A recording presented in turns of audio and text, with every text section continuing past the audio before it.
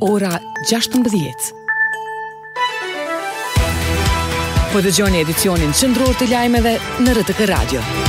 Në vazhdim, titujt kryesor. Haradinaj ndryshe nga Krasniqi e Haziri thotë se në takim me Lajçakun e pa dokumentin e draft statutit të asociacionit. Kurti thotë se drafti i ri i asociacionit është më i avancuar, megjithatë ia ka dërguar Lajçakut vërejtjet dhe kritikat. Raporti i progresit i KE-së kritikon Kosovën dhe Serbinë për moszbatimin e marrëveshjeve. Moti sot i vranët, temperatura më e lartë pritet të arrijë 18 gradë Celsius. Përshëndetje, jeni me edicionin qendror në Radio Kosova 1 me ju unë Arbenita Marmullaku, bashkë me Agush Ali Hajdari, operator në transmitim Zeqir Krosa, redaktor i edicionit Muharrem Saraxholli. I dërguari i posaçëm i Bashkimit Evropian për dialogun Kosovë-Serbi, Miroslav Lajçak, sot ka përmbyllur vizitën e tij dyditore në Kosovë, duke zhvilluar takime me përfaqësuesit e partive opozitare dhe ambasadorët e akredituar në Kosovë, me të cilët ka biseduar për draft-statutin e Asociacionit të Komunave me shumicë serbe.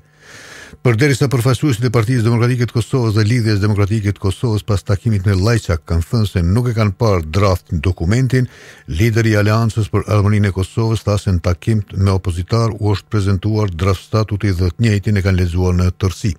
Albana Bajrami.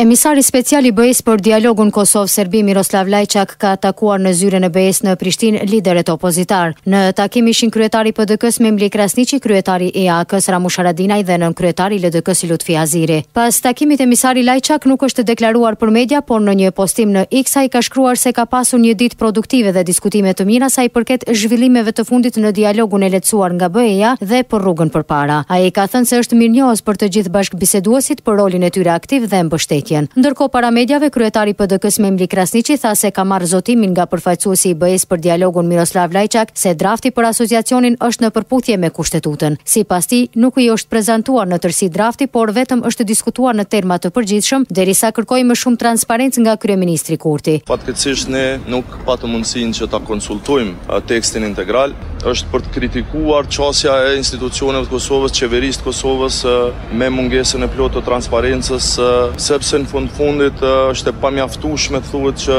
ky draft është apo nuk është në pajtim me Kushtetutën, pa i lexuar nga një perspektivë edhe e ekspertizës kushtetuese. Edhe nënkryetari i LDK-së Lutfi Haziri kritikoi kryeministrin Albin Kurti se po i mban në terr informativ partitë opozitare në lidhje me draft-statutin e Asociacionit. Ai nënvizoi se janë informuar nga Lajçak që Kosova ka pranuar planin dhe zbatimin e marrëveshjeve derisa theksoi se tani nuk duhet të humbet kohë për normalizimin e marrëdhënieve me Serbinë. Palët në këtë proces po ofrojnë komente në dokument. Është çështje që po e rujnë procesin për veten e tyre. Një po e konfirmume nga Kosova u tha edhe nga zoti Lajçak, që Kosova ka pranu edhe planin e sekuencimin edhe zbatimin e marrëveshjes edhe gjithë atë modelin evropian. Nuk guxohet humet ky moment dhe krejt janë ajo që ne do të vazhdojmë të kujdesshëm, të bahemi gardian të parimeve dialogut. Por kryetari i AAK-së Ramush Haradinaj theksoi se draft-statuti për Asociacionin është lexuar në tërësi, i cili sipas tij i referohet Kushtetutës së Kosovës, ndërsa nuk ia merr përgjegjësitë komunave me shumicë serbe. E Haradinaj tha se pas fillimit të zbatimit të këtij drafti Kosova duhet të kërkojë një procedurë të shpejtë për anëtarësim në NATO. Kemi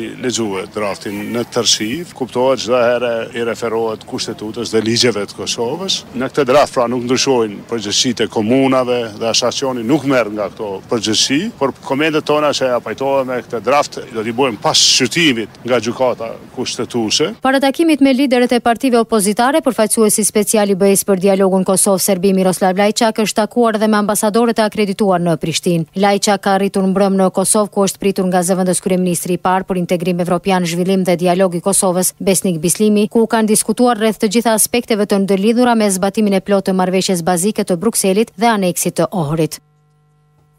Kryeministri Albin Kurti ka thënë se me 24 tetor ja ka dërguar vërejtjet për draftin e asociacionit emisarit europian për dialogun Kosovë-Sërbi Miroslav Lajçak.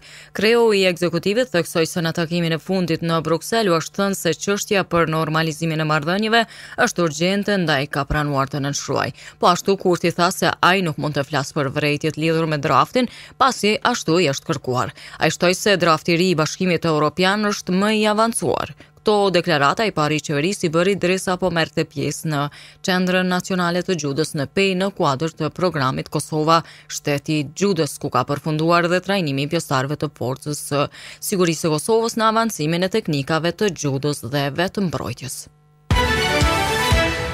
Kosova dhe Serbia kritikohen për mungesë të gatishmërisë për fillimin e zbatimit të obligimeve nga marrëveshja e Brukselit nga ky vit, por edhe shumë marrëveshjeve nga e kaluara. Kështu thuhet në raportet e progresit të Komisionit Evropian që pritet të publikohen nesër. Hollësi sjell korrespondentja e RTK-së në Bruksel, Gjeraqina Tuhina. Komisioni Evropian kërkon nga Kosova dhe Serbia zbatimin e të gjitha marrëveshjeve të dialogut. Në draftraportin vjetor, i cili zyrtarisht do të publikohet të mërkurën, më tetë nëntor, shprehet keqardhje për faktin se palët nuk kanë nisur t'i kryejnë obligimet e tyre. Kërkohet nga Prishtina dhe Beogradi që urgjentisht të nisin angazhimin më konstruktiv, pa vonesa të reja apo pa parakushte. Kosovës i kërkohet themelimi i Asociacionit të Komunave me shumicë serbe, konform propozimit të njëzet e një tetorit, ndërsa nga Serbia që ta mbështet këtë proces.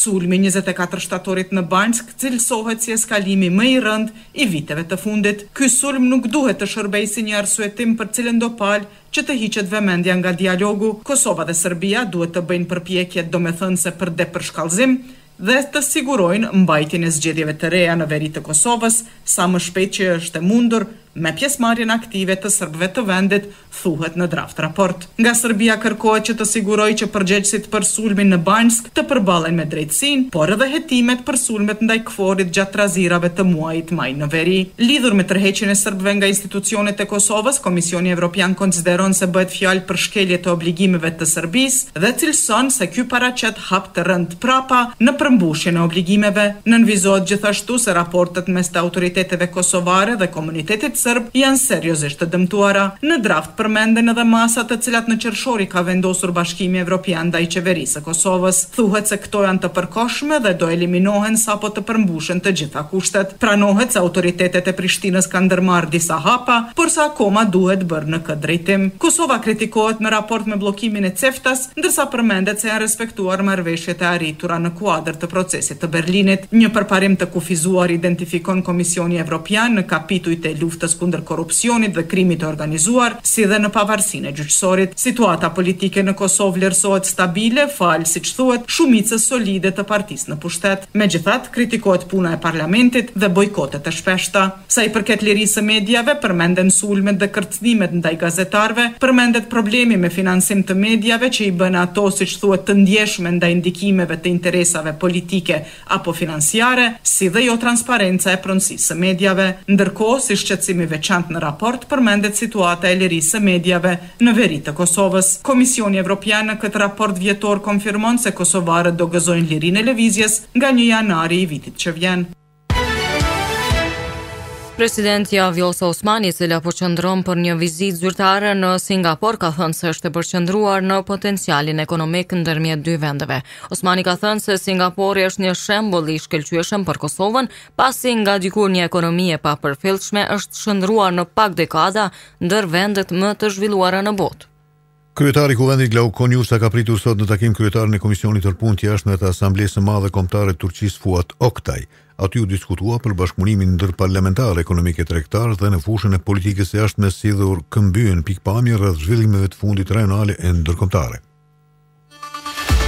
Të gjitha materialet dhe intervistat ekskluzive tani i gjeni në kanalin zyrtar në YouTube. RTK Radio. Pas përfundimit të pyetjeve të zyrës së prokurorit të specializuar kundërpyetjet për dëshmitarin Gjergj Dedaj, i ka filluar mbrojtja e Hashim Thaçit përmes avokatit Luka Mishetiq. Avokati tha se marrja në pyetje e këtij dëshmitari nga ana e tij do të zgjasë edhe gjatë paraditës së nesërme. me i remet a e rukaj.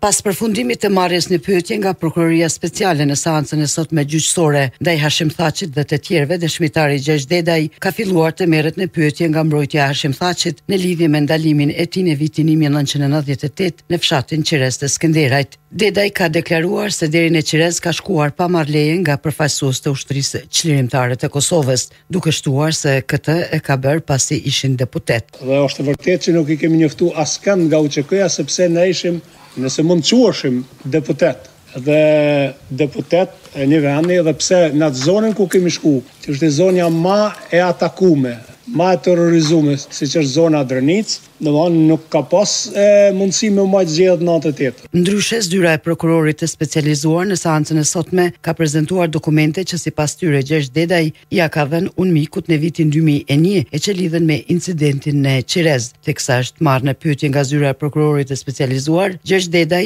tha se më përpara kishte pasur dëshirë që të shkonte në burg të përjetshëm si dhe është i gatshëm edhe të pushkatohet. Ma përpara kisha pas dëshirë tash nëse keni me siguri keni naj dhomë burgut me shku në burg, përjetshëm, tash jau nënshkruaj, me shumë dinjitet, me shumë gatishmëri, edhe pushkatim, po mos më qitni në kësi pozitash, trauma shpirtnore, emocionale dhe familjare. Pas kësaj, Dedajt iu prezantua një fotografi e konferencës së shtypit në Prishtinë, ku sipas prokurores, shihej dora e nxirë e Dedajt, për të cilën ky i fundit tha se është krejtësisht normale dhe se i ka ardhur si pasojë e rrëzimit në malin e Qyqavicës. Seanca do të vazhdojë nesër, ku dëshmitari Dedaj do të vazhdojë të merret në pyetje nga avokati i Hashim Thaçit, Luka Mishetiq.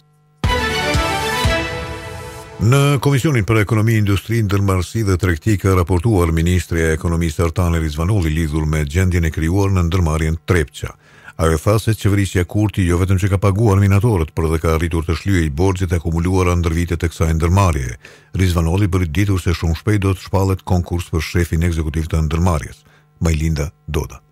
Ministrja e Ekonomisë Artane Rizvanolli gjatë raportimit në komision lidhur me gjendjen në ndërmarrjen Trepça tha se brenda kësaj jave do të shpallet konkursi për shef ekzekutiv të ndërmarrjes. Duke folur për grevën e fundit të minatorëve, ajo tha se gjatë kohës sa ka qenë greva, punëtorët kanë pasur të kryer pagën 55 për qind e pjesa tjetër e subvencionuar nga qeveria një ditë para fillimit të grevës, por që është ekzekutuar nga ndërmarrja një ditë më vonë. Subvencionet që po i shohim në vitet e fundit, jo vetëm që kanë mundësuar që pagat e punëtorëve të jepen të plota përgjatë gjithë kësaj periudhe, kontributet tatimore në Trust të punëtorëve. Përveç kësaj, ka pasur edhe rritje të pagave, rritje të pagesave për shujt dhe rritje të pagave për shtesë punë jashtë orarit. Edhe pagesa e borxheve të vjetra prej tetëdhjetë e Tetë pikë dy milionë euro do të thotë që gjendja e ndërmarrjes ka shkuar me hapa pozitiv drejt stabilizimit. Rizvanolli duke u përgjigjur në interesimin e Komisionit për shkarkimin e vjetër të Bordit, tha se krijimi i Bordit të ri ka treguar një rritje të performancës së të hyrave, prodhimit dhe shpenzimeve operative. Ka ardhur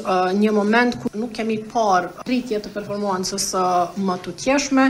Rezultatet që i ka treguar ky Bord tani më e kanë treguar se ky ka qenë vendimi i duhur dhe E kemi një perspektivë të re, një frymë të re, një bord i cili me kompetencë edhe nga aspekti ligjor dhe financiar po vazhdon të punojë aty. Rizvanolli ka theksuar se Trepça tashmë po punon me kapacitet të plotë dhe me një përkushtim të shtuar të të gjithë minatorëve për të tejkaluar sfidat. Rizvanolli tha se gjatë këtyre katër viteve janë ndarë njëzet e shtatë milionë euro për ndërmarrjen Trepça, që janë ndarë në dy kategori, shpenzime kapitale dhe shpenzime operative. Që nga një nëntori, 733 vetura me targa ilegale në veri janë konvertuar në RKS ka njoftuar policia e Kosovës. Zëvendësdrejtori i policisë në veri të Mitrovicës Veton Elshani ka njoftuar se sot deri në orën 12 janë konvertuar 88 vetura. Lajme nga bota. Në vazhdim ju lëmë me lajmet nga bota dhe kolegen Serbeze Haxhiaj. Një muaj pas fillimit të luftës, bilanci i viktimave palestineze ka arritur në më shumë se 10.000, ndërsa në anën izraelite në më shumë se 1.400. Kreu i OKB-së Antonio Guterres thotë se në Gaza po shpaloset një tragjedi e përmasave kolosale, e Izraeli pas luftës kërkon që ta kontrollojë Gazën. Nuk kemi ujë, as ushqime, nuk kemi jetë. Këto thirrje të banorëve të dëshpëruar në Rripin e Gazës po bëhen gjithnjë e më të zëshme. Një muaj pas sulmeve të Hamasit, faktorë të ndryshëm ndërkombëtarë po kërkojnë armëpushim si zgjidhje për hyrjen e ndihmave në Gazë. Makthi në Gazë është më shumë se sa krizë humanitare, është krizë e njerëzimit, tha shefi i OKB-së Antonio Guterres, duke e përshkruar Gazën si varrezë për fëmijët. Por kryeministri i Izraelit vazhdon me përjashtimin e opsionit të armëpushimit. Megjithatë, Benjamin Netanyahu nuk përjashton pauzat e shkurtra humanitare. Well, there'll be no general ceasefire in Gaza without. Nuk do të ketë armëpushim të përgjithshëm pa lirimin e pengjeve tona, tha Netanyahu në intervistën për ABC News i ballafaquar disa herë me shifrën që jep qeverisja e Hamasit për 10.000 të vrarë në Gazë. Netanyahu përsëriti zotimet e mëhershme se Hamasi do të mundet, por kush do të qeverisë Gazën pas kësaj? Uh, Ata të cilët nuk duan të vazhdojnë në rrugën e Hamasit. Për një kohë të pacaktuar, Izraeli do të ketë përgjegjësinë e përgjithshme për sigurinë, tha kryeministri izraelit. Presidenti ukrainas Volodymyr Zelensky hodhi sot poshtë mundësinë e mbajtjes së zgjedhjeve të reja në kohën kur është ndezur debati nëse vendi duhet të mbajë zgjedhje në kohë lufte. Duke bërë thirrje për unitet, Zelensky përjashtoi çdo sugjerim që Ukraina të mbajë zgjedhje në kohë lufte si tregues për kredencialet e saj demokratike. E Rusia është tërhequr edhe zyrtarisht nga Pakti Ndërkombëtar i Sigurisë që kufizon përdorimin e armëve konvencionale, duke thënë se zgjerimi i NATO-s e ka bërë të pamundur një bashkëpunim të tillë.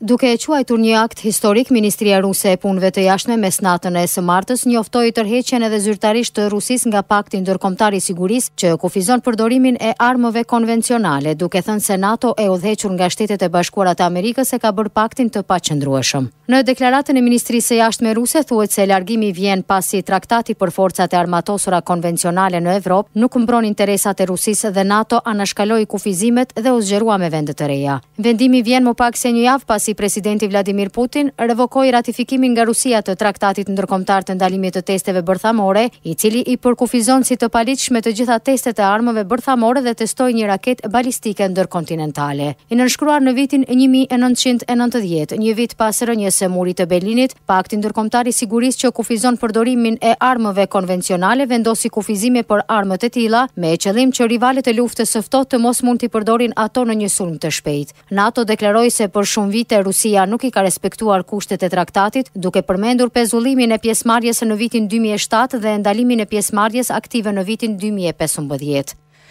E mbreti Charles i tretë i Britanisë në fjalimin e tij të parë në parlament si monark i vendit paraqiti planet e qeverisë për vitin në vazhdim. Ai foli për ligje e masa për një jetë më të mirë për britanikët dhe paralajmëroi ndihmë për Gazën dhe Ukrainën. Mbreti i fundit që bëri hapjen shtetërore të parlamentit ishte George VI në vitin 1950.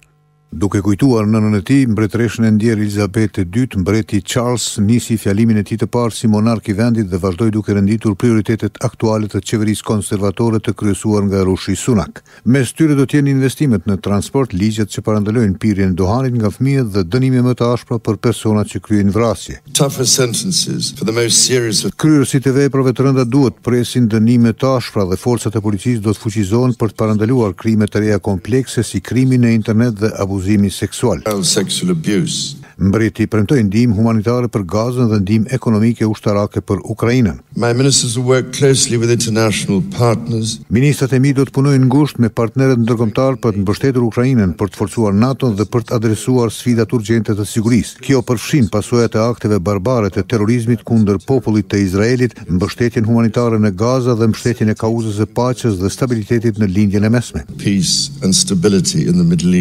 Mbreti që shërbeu në Marinën Mbretërore dhe Forcën Ajrore tha se qeveria do të investojë në Forcat e Armatosura galante. Mbreti e mbylli fjalimin duke i dhënë më shumë theks inflacionit, mjedisit dhe ruajtjes së biodiversitetit. Kryeministri Sunak e quajti fjalimin përfaqësim të vizionit të tij për një Britani më të mirë, ndërsa laburistët opozitarë thanë se përbën një program mjaft patetik.